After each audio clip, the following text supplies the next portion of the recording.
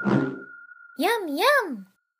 William Vaughan here with a quick introduction to polygon normals in Modo. By default, polygon normals aren't visible in the 3D viewport. To view the normals for the selected polygon, simply enable the Show Selection Normals option in the Visibility section of the 3D Viewport Properties panel.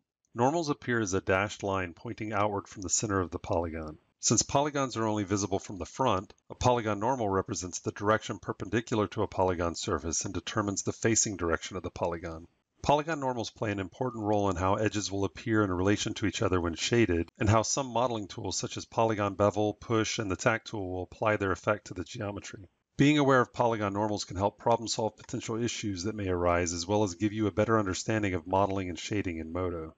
Oh, look at the time.